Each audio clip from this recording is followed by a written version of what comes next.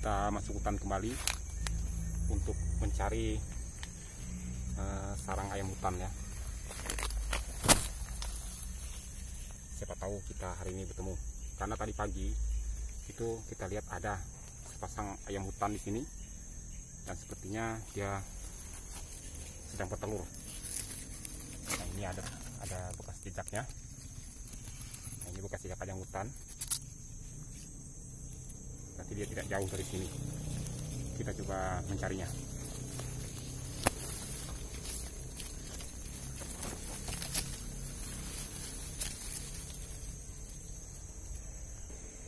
Jadi di sini tempatnya masih semak-semak. Dan kita juga harus hati-hati. Takut ada hewan-hewan uh, berbisa lainnya.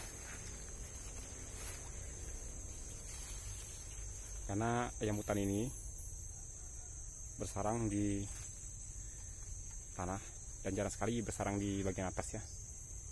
Dia senang bersarang di semak-semak belukar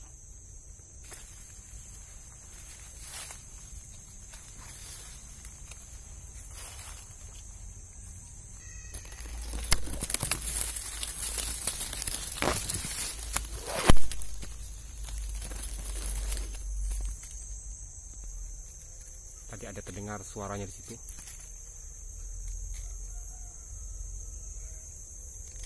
sepertinya dia terbang di atas ya.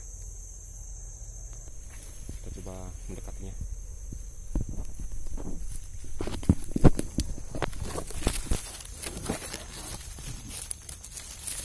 Dan tadi kelihatan dia lari dari sini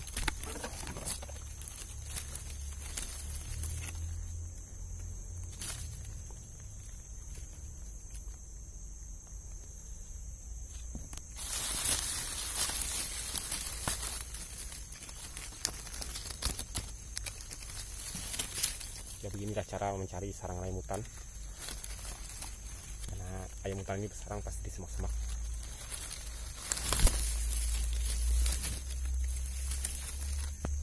kita coba cari tempat lain lagi.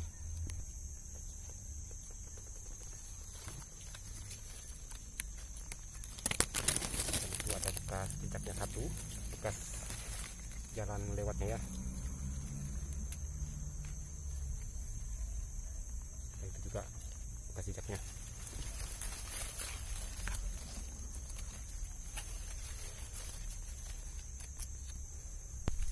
coba cari lagi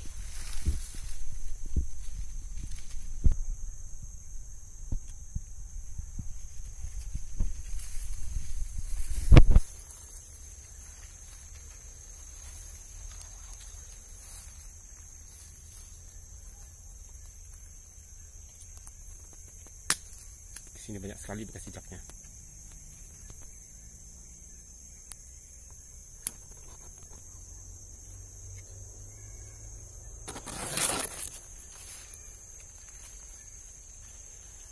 mencari sarang ayam hutan ini perlu kesabaran ya.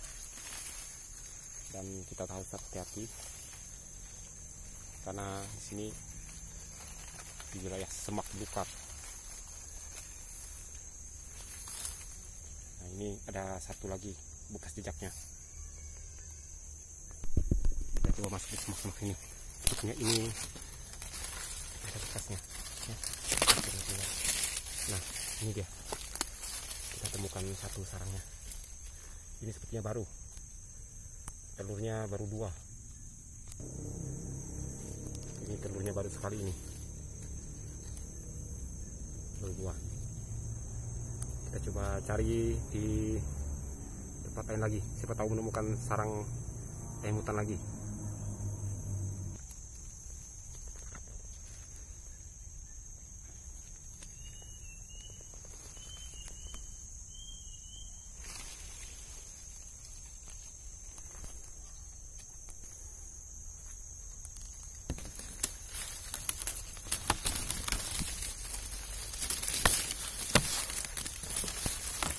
seperti ini.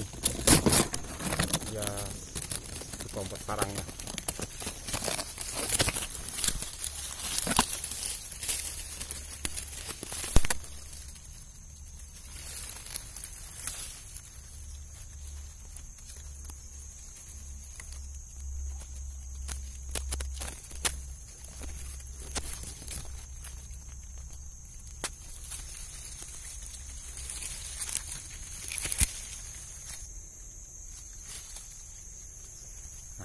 sarangnya. Kita dekat. Nah itu sekali. Wah. Jadi jarak sarang tadi dengan yang ini yang kita temukan kurang lebih berjarak sekitar 60 meter ya. Nggak sampai 100 meter. Ini dia.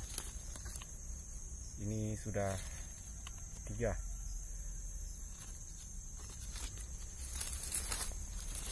ini jangan kita sentuh karena kalau disentuh dia tidak akan mengeraminya. Karena ayam hutan ini sangat sensitif sekali dengan aroma tubuh manusia. Terima kasih sudah menonton. Jangan lupa like, comment, share, dan subscribe nya ikuti terus petualangan saya untuk berburu hal-hal unik dan menarik baik di kota maupun di hutan atau di pedesaan ya